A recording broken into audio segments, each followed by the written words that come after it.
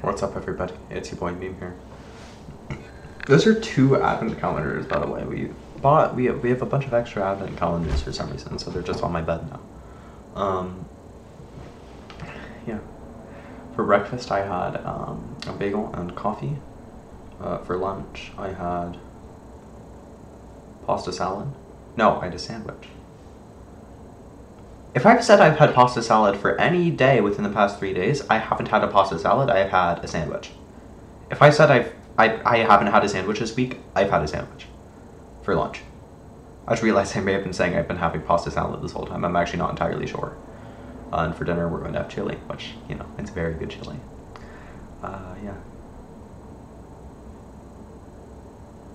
I'm watching The Verge's video on, on um, um, the verdict on Elizabeth Holmes, and I'm happy. Uh, you know, she finally got convicted. Uh, imagine if she didn't get convicted. That'd be crazy. Uh, but you know, of course, of course, right? Uh, yeah. Um, yeah. It's su- it's such an interesting story. All that Theranos stuff. I mean, you know, it would have been great during like COVID if that was a real not COVID. It, it would be great if Theranos was real during COVID, not if, if like the like if like the Theranos like prick of blood thing was real, um, but it ended up being totally fake, um, and that's why she's getting sued. I don't think COVID's fake. Okay.